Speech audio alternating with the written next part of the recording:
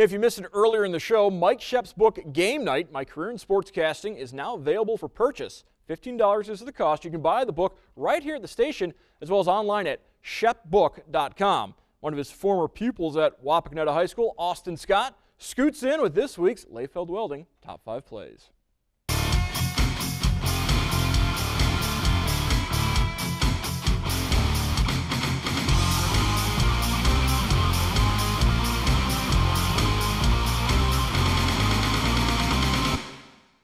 We have five plays pinned down for you this week, beginning with District Wrestling.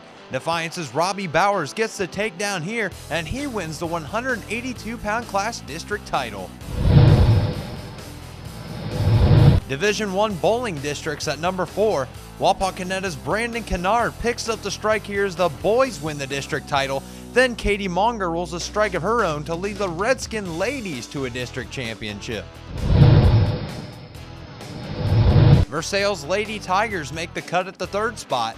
Cami McEldowney drives, takes contact, and gets the scoop shot high off the glass and in.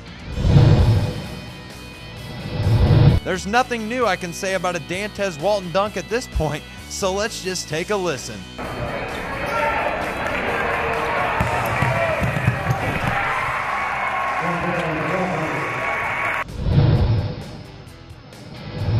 Some late game heroics take this week's top honors.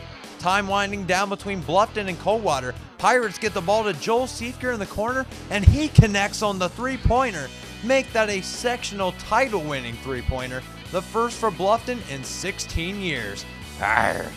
If you're looking for some welding treasure, you should visit our friends at Lefeld Welding in Coldwater and Greenville, and make sure you check back next week for another edition of the Top 5 Plays.